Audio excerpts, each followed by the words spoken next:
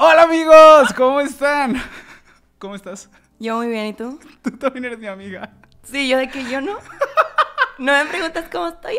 Bienvenidos a este capítulo. El día de hoy tenemos invitada a Grecia Silva, que por fin le pueden poner cara, porque ya hemos intentado esto muchas veces Ya y no ha salido. Un ejercicio que estoy tratando de hacer es ir al grano. El día de hoy vamos a hablar sobre cuando nos queremos salir de un lugar, porque aunque ese lugar nos hace daño a nosotros y a la otra persona, o sea, bueno, salir de un lugar es salir de una relación. Ajá, metafóricamente hablando. Para no hacerle daño, pero sabemos que vas a causar. Sí, como que cuando la forzas mucho porque crees que te va a ir peor cuando te sales Ajá. y realmente cuando estás afuera dices, güey, ¿por qué no me salí antes? Sí. Siento que eso pasa mucho, ¿eh? Demasiado. Creo que pasa mucho, como que entre más chiquito estás, más factible que te pase. Como que siento que hay un limbo de edad en el que no te preocupa tanto, ¿sacas? Es que siento que cuando estás chiquito ves todo más grande y crees que no vas a volver a encontrar un amor así. O cuando tienes ya, que sientes que tus amigos ya se casaron y ya tienen bebés y sientes que te vas a quedar, el término quedada que me caga la madre. ¿Cómo te quedas si ya eres? La neta no entiendo. Súper No existencial. entiendo. ¿Qué Pero va bueno, primero? ¿has estado en esa situación? ¿En cuál? De querer salirme de un lugar. Yo siento que he estado en las dos. O sea, por ejemplo, de yo quererme salir porque es como, esto ya está valiendo queso, pero no quiero hacer daño. Como que te da hueva volver a empezar. Pero también he estado, y obviamente me di cuenta hasta después, que yo era la persona que iban a hacer daño y por eso no se salían. Y al final, el daño sucede. Si ya tomaste la decisión de que te quieres salir, no estés, estés esperando. Yo opino eso. O sea, mejor Yo he estado en, salte. la- en los dos también. Ajá, juégatela. Y la neta sí está peor. O sea, siento que como que hay, hay muchas razones cliché, ¿no? De es que, como el dejado es, pero me prometiste, pero dijiste. Creo que, el- ajá, el dejado es el güey que va a pasar con mi vida porque mi vida era esta persona y ya nunca voy a poder volver a construir algo nuevo. Y la neta está súper estúpido porque algo que acabo de decir a un amigo hace poco que me estaba platicando de sus desamores, eh, que tiene una relación que le, le gusta pero pues no está al 100. Ok. Y me decía, me da miedo que ya no me caiga bien alguien así como me cae bien esta persona. Y yo, güey, qué razonamiento tan más estúpido. O sea, tanta gente. Aparte, caer bien. Caer bien es Bueno, bien fácil. sí, caer bien O- los amigos y las amigas. Ah, es lo que le dije yo, que para caer bien aquí me tienes a mí. O sea, digo, claro que te tiene que caer bien tu pareja, ¿verdad? A mí mi, mi, mi Pedro me cae pero de huevos. Es el pedo, güey. O sea, en nuestra situación actual hermosa. Güey, que nos viera, era- éramos un desmadre. O sea, eran unas llamadas de... Yo sí pienso eso ahorita. Sí. Pero estoy bien. O sea, pero sí pienso eso ahorita de que, güey, no sé si vuelvo a encontrar esto, ¿sabes? O sea, Ay, pero ya lo he pensado. esperemos que no, esperemos que no se vaya, peda. No, no, no, pero ya lo he pensado antes. Y las otras veces, volteando a ese yo del pasado diciendo, creo que no voy a encontrar. Güey. Siempre, También, mis siempre vuelves. estándares, los estándares han mejorado muchísimo, La claramente. neta, sí. Siento que también cuando te dejas de esas cosas, Es que imagínate. dejas estar- que te encuentre algo más chido, no sé, en mi experiencia. Es que debe ser una presión enorme. No sé, creo que mientras menos relaciones había tenido, más grande veía el pedo y más decía, no voy a encontrar esto. Pues no, güey, porque nada más has tenido una relación. O sea, ¿qué chingados vas a saber? No y sé. vas aprendiendo muchísimo. O sea, si yo me comparo con, no sé, las relaciones que yo tenía a los 15 años, 16 años, digo, en la madre, qué vergüenza.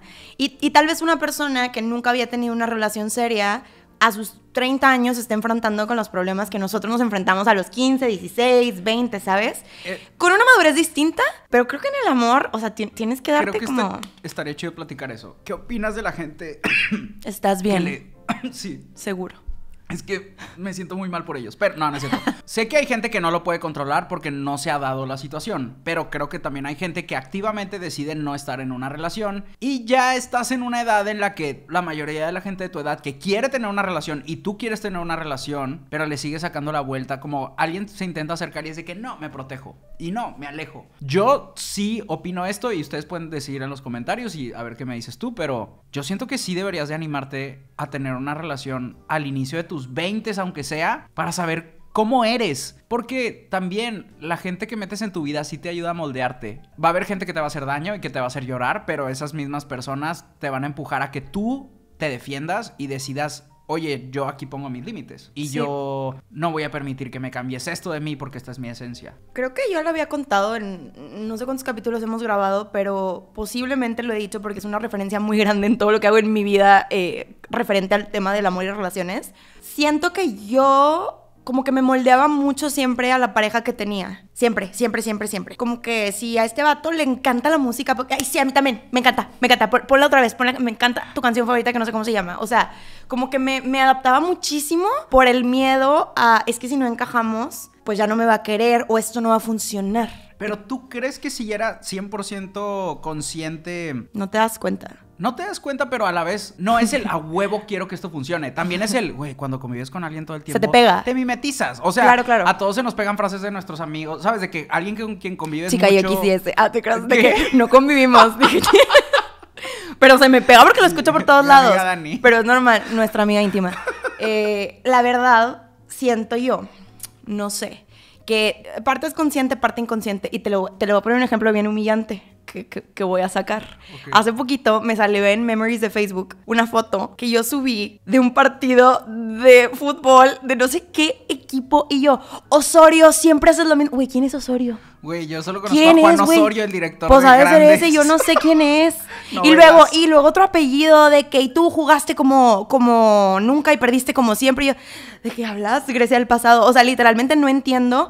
Y no me te- acordé que en esa época a mí me gustaba un güey que era fanático del fútbol. Era mi forma estúpida de, de así como que, hey, tenemos un chorro de cosas en común, ¿sabes? Eso es algo muy cabrón. Siento que antes el tener cosas en común. Yo hablo de antes de nuestros yo del pasado. Hay gente que todavía es muy importante, pero siento que con el tiempo aprendes a sacrificar de esto lo puedo disfrutar solo o esto lo puedo disfrutar con Sí, otra de que no es a huevo tener que compartirlo con alguien. Ajá, de que digo, a veces es como, ay, ojalá te emocionaras tanto como yo por ver a Spider-Man, pero No la he visto, así pero que... es por querer compartir la emoción. Sí, sí, sí, sí. Pero a la hora de elegir eh, con quién vas a salir, porque es- si es una elección, yo creo que cuando no has tenido mucha experiencia, te fijas de que, ¿te gusta Harry Potter? No mames, somos el uno no para el somos otro". nada compatibles. No he visto los Power Rangers. O sea, sí, sí, sí. Ajá. Entonces, Totalmente. Siento que es como, güey, los gustos de alguien no son su personalidad. Su personalidad es cómo reacciona con las pláticas y los... O cómo reacciona con sus gustos, porque si es de los que se enojan con la televisión cuando pierde su partido y golpean cosas y avientan Sí. madres,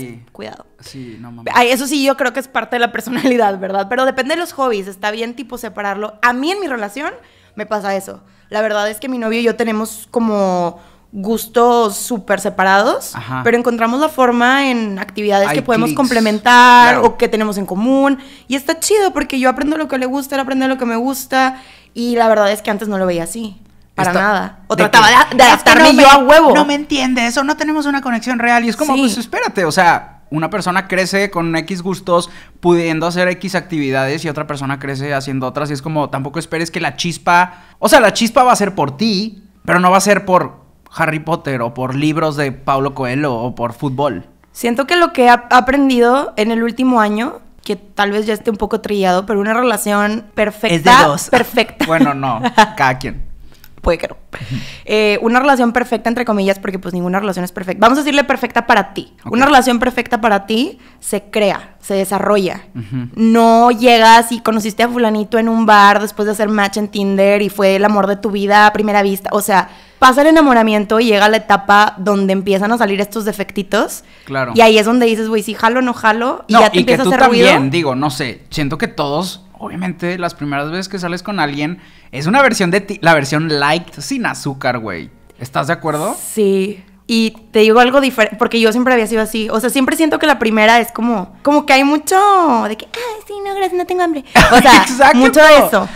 Y yo, que- yo no quería salir con, bueno, a ver, contexto. Yo tuve una relación hace como 6, 7 años, ya no sé, el 2014 corté por ahí. A partir de ese momento yo decidí trabajarme e ir a terapia. Entonces yo por 5 años me enfoqué única y exclusivamente en mí, al punto, sí salí con gente y todo, pero nunca se concretó nada. Siempre fue un, pues estamos saliendo, duramos 2, 3 meses saliendo y hasta ahí. Y para cuando yo conocí a mi no... Mi prometido. Prometido. Para cuando lo conocí, eh, la neta, yo no esperaba nada de nadie. De nadie. Yo no quería salir con él. Mi psicóloga me obligó prácticamente a ex. Si está escuchando esto, gracias. Literalmente Oye, me sí. obligó a salir. No manches, me ha ayudado demasiado. Aparte en el podcast que yo tengo, es mi co-host en charros de Ah, no capítulos. manches, Sí, ok. no, yo la amo con todo O mi sea, ser wing woman, psicóloga, todo, co-host. todo, confidente. Y ella me dijo, no pasa nada, y aquí viene la parte machistosa, ni que te fueras a casar con él. y tú mira lo que... Digo, todavía no pasa, pero esperemos que, que No, todo, pues sí, claro, claro. todo siga su curso. Pero literal me dijo eso y fue que relájate un, perdón, relájate un chingo. Literal. No Ay, discúlpenme, amigos. No es broma. Yo hablo así, yo hablo como trailera. Eh, la verdad, sí fue que. Ya se me olvidó. Tu vasito rosa, güey, todo adorable. Chingado. Ya se me fue el pedo. Perdón, que ni te fueras a casar, te dijo tu psicólogo. Ah, sí. Y cuando me dijo eso, yo, pues tienes razón, ¿para qué hago tanto pedo? Me dice, vas, te echas unas cheves, no te cayó bien una persona nueva que conociste y ya, dale con tu vida. Claro. Y yo, bueno, ok, fine. Y terminé saliendo con él y por la misma razón que yo no quería, yo no estaba esperando nada, fui yo 100%, la única primera cita que yo he sido 100% yo fue con el pelado que me comprometí. O sea, nunca en mi vida, te juro. Siempre era como que, ay, se ve algo, no sé qué. O sea, güey, no, no, no, no. En esa vez yo estaba así con la pata arriba, güey, de que. Hablemos sobre las primeras impresiones. O sea, justo eso de que te vale. Obviamente te ha tocado salir con alguien que se nota que le gustas desesperadamente. ¿O no, no te ha tocado? Me tocó uno. La- O sea, me tocó a- antes de Pedro, justo. ¿Estás de que, se huele la desesperación Sí. de la otra persona de que a huevo te quiero caer bien? Y es como. Ay, oh, uy, no, es- eso sí. No, eso sí ¿sabes chingo, qué güey. me revienta los huevos? Las personas, y esto no solo pasa como en relaciones, a veces te encuentras con ese tipo de personas, pero a mí sí me desespera un poco. Sorry si hay gente escuchando que es así. Pero cambia. No, no te la gente que quiere hacer a huevo como romántico un momento o como muy emocional, y es como. No se está estamos dando. comiendo papitas, güey, No se está dando, Sí, sí, no sí, se está dando. Date cuenta que estamos aquí echándonos un elote tranqui. O sea, no me des un speech o no me cuentes tu pasado oscuro todavía porque es la primera date. No sé, a mí sí me gusta. Siento que tú te asustas demasiado con las preguntas deep en la primera cita. No, Siento que es como que. a mí, ¡oh! me, a mí me maman. No, me mama tener esas pláticas, pero este es el pedo. O sea, yo nunca tuve o rara vez. no, al principio sí, yo era la persona intensa. Güey, justo cuando antes de que llegaras estaba pensando de que, güey, esto me pasó a mí. O sea, yo era de que, ¿quieres tener hijos? ¿Y a qué edad te quieres casar? Güey, yo era ese pelado, güey. Yo era el pelado de todas las Creo preguntas que está bien, güey. más densas al Antes inicio. yo pensaba que de que era too much. Creo que está bien, güey, porque desde ese momento filtras a la persona que, que, que- que es o que no es. A mí Pedro me preguntó, Pedro, mi novio, me preguntó eso. Nadie me había preguntado eso nunca. Ah, y yo sí lo vi, acuerdo. yo lo vi intenso, yo me asusté, pero a la vez dije que, es más, hasta lo puse en Twitter, de que shout out al vato con el que salí ayer, güey, que sin pelos en la lengua me preguntó que, digo, y no fue así de que, ¿y cuáles son tus expectativas de vida? Para nada, en una conversación que fluyó, dijo, mm, ¿y tú quieres tener hijos? Y pues me saqué de pedo. Y dije que no, y él, ah, yo tampoco.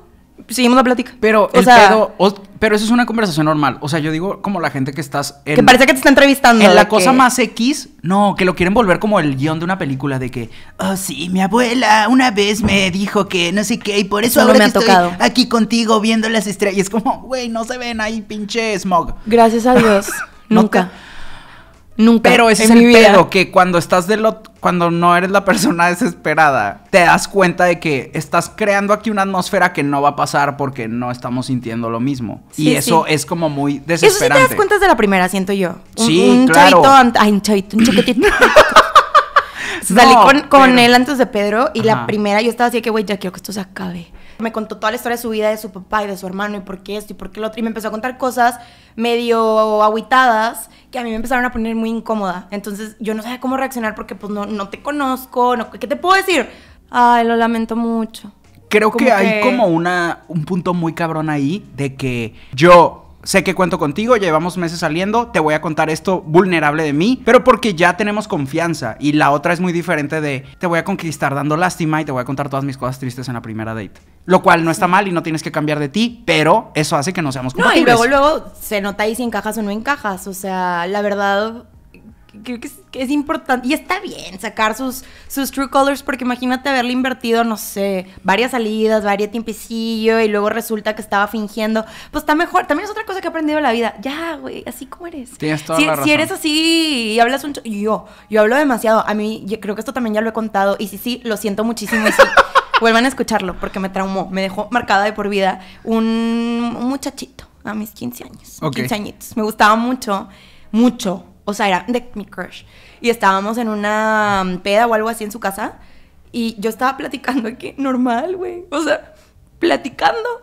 Y fue que, ah, hablas demasiado, me desesperas mucho, hablas un chingo y yo. Güey, que te digan eso a los un 15 años cuando alguien te gusta. Güey, hola, tengo 30 y me sigo acordando y así de que las lágrimas se escurre cuando me acuerdo. Claro que ya me da risa, ¿verdad? Lo, lo hablé ¿Dónde en terapia ese, ¿Dónde está ese puñetas? En mi vecino, güey. Me acabo ¡No de dar cuenta hace como tres días. Literal, pasamos y yo. ¡ah! Y Pedro, Pedro es mi novio. No sé si ya lo dije, pero bueno, Pedro es mi novio. Sí, ya lo dije. Voltea y de que qué fue. Y yo, ¿te acuerdas del vato que te conté, güey? Que arruinó mi autoestima. Es él. O sea, pero ya no es como. No me afecta. Sí hablo mucho. ¿Y qué? O sea, pues es parte de quién sí, soy. güey, pero está cabrón. Esos no. comentarios cuando estás morrito, que te los pueden decir de que tíos, tías, no Siento sé. que no lo hacen en mal pedo, decido creer que la gente es estúpida, güey. Estúpida, pero bien sí, intencionada. pero cuando estás chiquito no sabes, güey. No, para nada. No manches, lo acabo de aprender el mes pasado.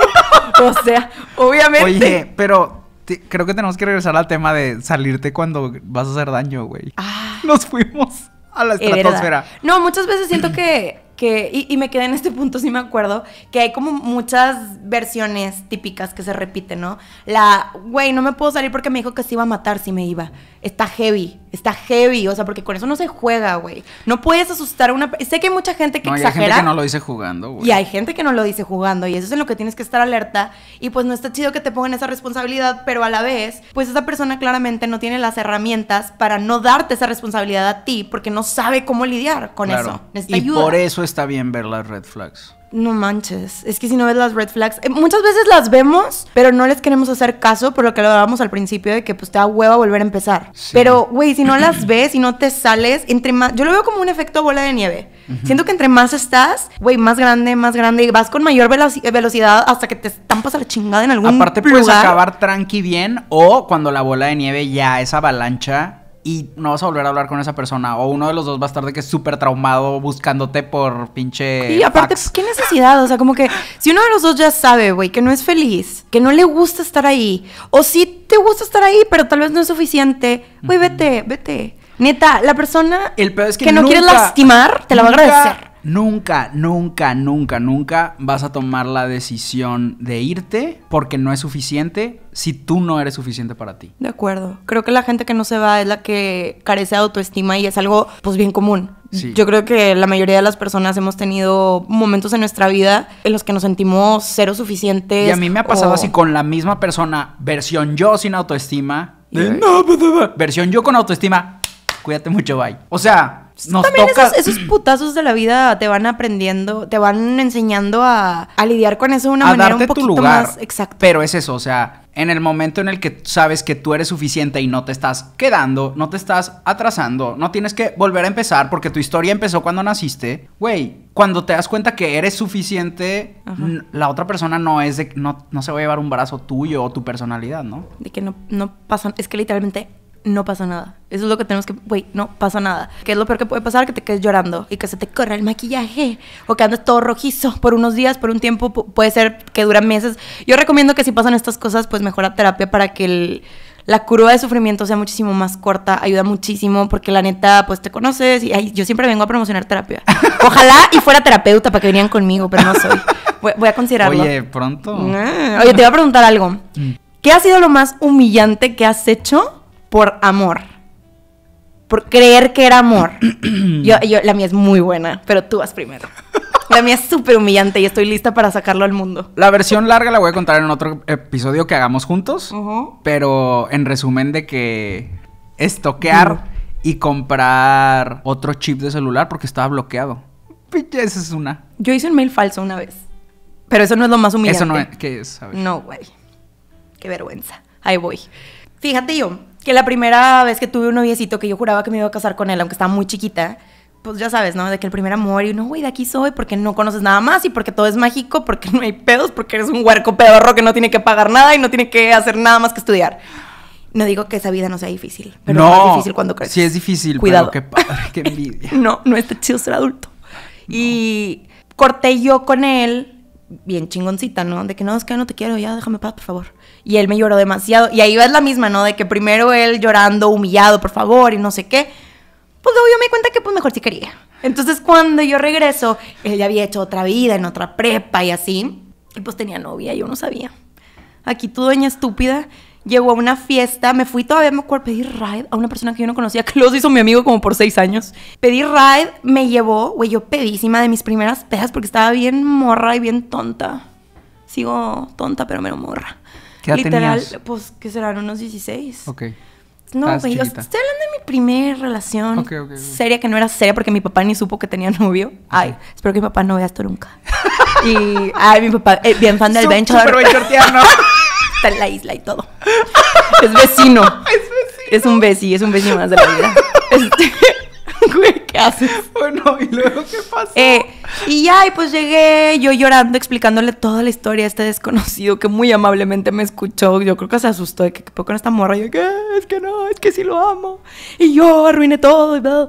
Fui y lo jalé. Había un chorro de gente, solo me acuerdo que había mucha, mucha, mucha, mucha gente. Y yo lo jaló y voltea y me hace así como que sácate la chingada. O sea, como que me sacude, güey. Yo, ¿qué pedo, güey? Y volteo y tenía de la manita a una chava. Y yo, Cristo Redentor, ¿qué está pasando? Se No, me bajó la peda, güey. No, fue así de que, güey, se me bajó la peda se- y la sangre y todo, todo. Se me fue la vida. Y yo, podemos hablar, por favor, güey, llorando, jalándole, que por favor habla conmigo, pero En el alcohol. medio de la fiesta. Ay, güey, qué vergüenza. Yo creo que esa gente se va a acordar de mí como la mala copa. Uy, güey, qué vergüenza. que me- Ya me arrepentí, mejor córtenle. Pero probablemente ellos luego cortaron y ya no se acuerdan de ti. Porque Sí, no, y luego ella era súper horrible con él. No, fue todo un pedo, que no voy a entrar en detalles porque es la vida personal de él. Pero, pero, güey, yo me sentí súper humillada. O sea, yo me sigo acordando de que, güey, ¿por qué chingados hice eso? Pero no sabías, No, lo no, mejor no, podías Obvio, ahorita sí sé que en la maíz. O sea, fui muy dura juzgándome porque pues no tenía otra referencia. Aparte, estaba bien peda, no sabía manejar bien el alcohol, por eso mejor no tome. O sea, si no le sabe, no se meta. Yo, la neta, sí hice mis buenos osos por, por el alcohol, güey. Ya. Y, y no, no lo recomiendo, la verdad. Yo no vuelvo a ese lugar oscuro porque se te hace fácil, ¿no? Es de que, güey, el alcohol es nuevo y te pones pedo con un... Y, ay, póngale pip, si no puedo decir marcas. No. Eh, el... La novedad, como que, güey, todo es nuevo y tengo amigos nuevos. No, y me pues metí cuando a la tienes prepa y 16, sí, una claro, que sí, ¡uh! ser popular. ¡Uh! Rebelde. En nuestra graduación de secundaria, sí, de tercera Ajá. secundaria, nos quedamos en el bioparque. Ese fue nuestro viaje. güey. ¡Qué Nos quedamos a dormir ahí. Güey, qué Hay cabañas y ahí nos quedamos. Fuimos a un safari nocturno. No mames, qué chingón. No sé si existe todavía el bioparque, güey, pero... Bioparque, si estás viendo esto, Ey, nos invítanos. Tu despedida soltera en Bioparque. Sí, jaló. Eh, sí, sí, jaló. Güey, estaría chido. Bueno, me sí, una cosita, pero lo haría. Lo haría. Sí, lo haría. Lejos de los leones. Sí. Ay, por favor, de todos los animales que me puedan morder. Pero eh, en eso, para que veas el nivel de rebeldía en la cabeza, unas amigas se llevaron literal bebidas energizantes escondidas. De que, "Shh, nos las tomamos en la noche y nos sentíamos así de que criminales. ¿Qué, güey? ¿Qué se te sube o qué? O sea, el corazón nada más te da taquicardia. Bien raro. Pero era en esas épocas que te sientes invencible, inalcanzable, Claro. con libertad. Y, lo eres, fiestas. si así te sientes. Pues yo lo fui tanto que me humillé. Si mi mamá me hubiera estado cuidando, yo no me humillaba esa noche. Pero aprendí Oye, muchísimo. Y yo y- creo que sí volví a robar. ¿Qué les puedo? Pero muchos años después y no así, creo. Es que luego también Quisiera- está ese consejo de deja el orgullo atrás. Pero muchas Quisiera, veces no pero- es el orgullo, güey. Es como el bienestar, pero no lo podemos ver. No podemos ver a futuro. Vemos a corto plazo de que necesito mi cura rápido. Eso. Y tu cura a largo plazo es no estar con esa persona. Esa es mi conclusión. Siento yo que es lo mismo como que cuando estás en un duelo. Como, sí, duelo, ¿no? Como cuando pierdes a alguien. Por ejemplo, pues acaba de morir mi mascota.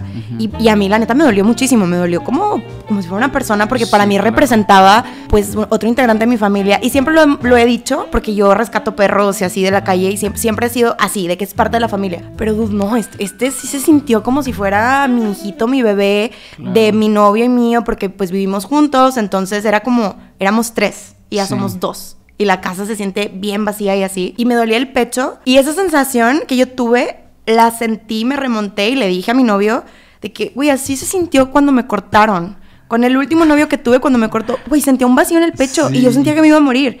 Y no me morí. Y bajo esa misma filosofía fue, güey, pues va a pasar. O sea, el dolor Claro. pasa. Y si pasa cuando perdemos a un ser amado o a una mascota o alguna oportunidad de trabajo, un tra- lo que sea, pues pasa también cuando terminas una relación. No es el fin del mundo. Hay cosas peores y me atrevo a decir que también se superan. Claro, O sea, tu cuerpo, tu cuerpo está confundido.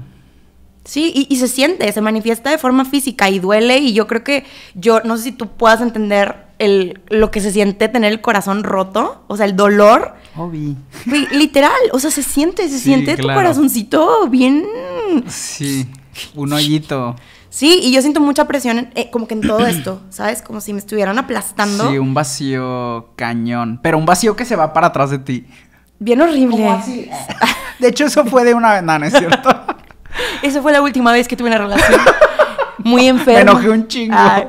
Pues- Sí, la, la neta sí se supera y, y aunque duele, pues, güey, si no te sale está peor el dolor, siento. O sea, Y creo que también es como, güey, si me vas a hacer llorar, empieza de una vez.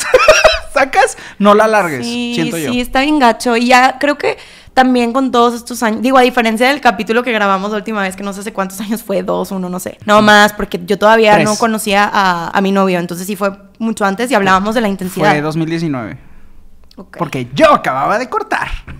Y yo todavía no, estaba a punto de conocer al pelado. Sí, creo que sí. Pero me sorprende el cambio que he dado y yo creo que también Victoria me ha ayudado mucho a dar como que mm, más amplitud en la perspectiva Pues de sí, de tienes muchos todo. puntos de vista. Güey, yo parece que vivo en un mundo de Claro. terapia, o sea, terapia gratuita. yo no cobro, yo no cobro, pero doy consejos. Y la neta es que cuando yo digo esto está muy heavy, no sé qué decir porque yo no lo he vivido. Muchas veces ya lo viví y ya me terapearon con eso, entonces puedo, puedo repetir como periquito, pues lo que a mí me dijo mi psicóloga siempre citándole y dándole el debido crédito, ¿verdad? Claro. Pero me di cuenta que, mm, uno, la gente está muy alejada de estas soluciones y de estas herramientas que no son difíciles de encontrar, la neta. Yo creo que hasta en Google puedes encontrar. En mi comunidad, pues doy espacio abierto a que la gente nos comparta sus problemas y yo esos consejos los doy públicos. Entonces siento que la gente, al estar leyendo eso, pues lo aplica y lo, lo toma como propio, ¿no? Y absorbes problemas que. O sea, no absorbes, sino aprendes de problemas que no tienes. Sí, Y eso o sea, yo siento que yo estoy aprendiendo en cabeza ajena. Y creo que el tiempo que he hecho estas dinámicas para conocer, aconsejar, como que he aprendido bastante de la relación. No que mi relación fuera mala antes, la verdad, estoy orgullosa de la relación que logré construir. Pero yo creo que este último año ha sido, uf, uf, lleno de aprendizaje y, y lleno de, de entendimiento de, pues no pasa nada si las cosas no se dan. Y si se están dando es porque pues te, te- te mereces por el esfuerzo que estás haciendo consciente de ser una mejor persona.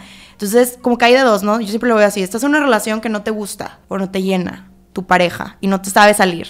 Dos sopas, bien, bien sencillo. La sopa número uno es suck it up y aguántate y sé la pareja que, que quisieras tener, aunque eso implique cortar tu felicidad, porque es lo que está pasando al no terminar una relación.